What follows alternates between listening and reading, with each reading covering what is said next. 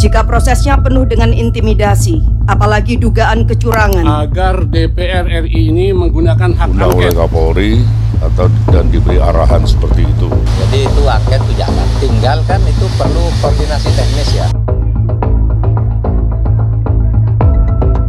Usulan penggunaan hak angket DPR yang dilontarkan calon presiden nomor 3 Ganjar Pranowo terus menggelinding. Bila sebelumnya banyak yang bersuara minor dan menilai kalau usulan tersebut hanya gertak sambal, fakta terkini berbicara lain.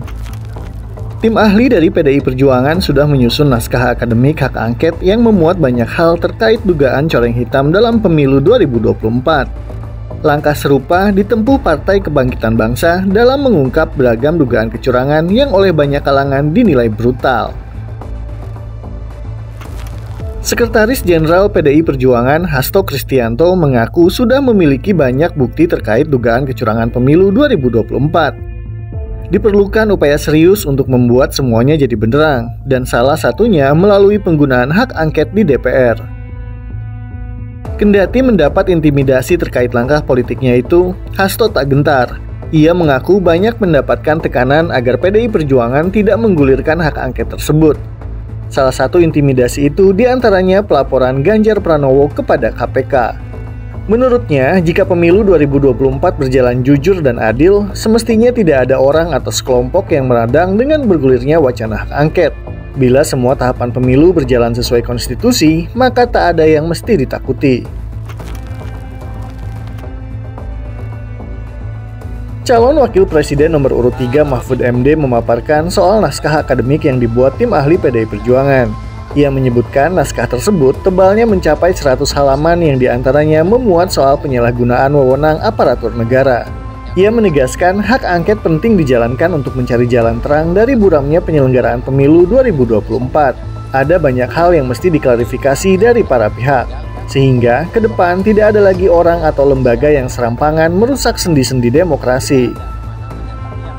Sementara itu, Wakil Deputi Hukum TPN Ganjar Mahfud, Henry Yosodiningrat menjelaskan soal langkah-langkah yang akan ditempuh timnya untuk memperkarakan hasil pemilu 2024 di Mahkamah Konstitusi.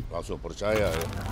Ia mengaku telah menyiapkan seorang kepala kepolisian daerah atau Kapolda untuk menjadi saksi dalam sidang di MK. Kapolda tersebut bakal memaparkan soal pengerahan aparat negara untuk menggerakkan masa memilih kandidat tertentu. Heri menegaskan, tim TPN Ganjar Mahfud juga mempunyai bukti terkait kepala desa yang dipaksa polisi untuk memobilisasi pemilih agar mencoblos salah satu pasangan capres-cawapres.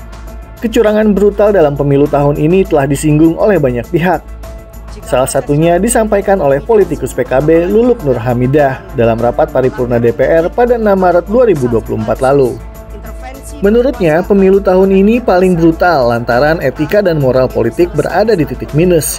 Salah satu indikatornya adalah para akademisi, budayawan, hingga rakyat berteriak soal kecurangan dalam pemilu. Karena itulah ia mendukung penggunaan hak angket oleh DPR. Sebagai langkah konkret menuju hak angket, Luluk mengatakan kalau PKB sedang menyiapkan naskah akademik dan berharap bisa segera diajukan ke DPR. Ia memaparkan naskah akademik itu berisi tentang kecurangan-kecurangan dalam pemilu 2024, mulai sebelum pencoblosan sampai setelahnya. Kecurangan itu di antaranya penyalahgunaan wewenang aparat penegak hukum hingga pengerahan mesin birokrasi. Hal tersebut sejalan dengan temuan komisi untuk orang hilang dan korban tindak kekerasan atau kontras. Wakil Ketua Koordinator Kontras Andi Rizaldi menyebutkan pihaknya mendapatkan 310 dugaan pelanggaran dalam pemilu 2024, di antaranya manipulasi suara, pelanggaran netralitas, politik uang, penggunaan fasilitas negara oleh kandidat, dan lain-lain. Sementara koalisi tolak pemilu curang yang terdiri dari ICW, Temis Indonesia, dan Aji Indonesia memotret beragam kecurangan dalam pemilu 2024 dengan membagi empat fokus pemantauan, yakni politik uang, netralitas pejabat negara atau pemerintah desa, netralitas penyelenggara pemilu, dan penyalahgunaan fasilitas negara. Berdasarkan temuan di lapangan, salah satu bentuk penyalahgunaan fasilitas negara di antaranya politisasi bantuan rice cooker dari Kementerian Energi dan Sumber Daya Mineral, penggunaan mobil dinas untuk kampanye, dan kegiatan pemerintah seperti rapat kerja yang dibajak dengan memberi arahan untuk mendukung calon tertentu. Temuan lainnya adalah kampanye terselubung dalam berbagai agenda pemerintah. Satu di antaranya kegiatan pemerintah Kota Medan yang dalam banyak kesempatan menggunakan atribut dengan warna yang mengarah pada pasangan Prabowo Gibran. Hal senada disampaikan puluhan tokoh nasional yang berasal dari kalangan aktivis anti korupsi, akademisi hingga seniman. Mereka mengirimkan surat kepada sejumlah ketua umum partai politik untuk menggunakan hak angket di DPR. Dalam surat tersebut dijelaskan dugaan kecurangan dalam pemilu 2024 tidak hanya terjadi pada saat pencoblosan, tetapi juga sejak awal proses penyelenggaraan pemilu, bahkan pasca penghitungan suara. Beragam dugaan dan temuan kecurangan itu perlu dibuktikan melalui jalur yang disediakan konstitusi, di antaranya hak angket DPR.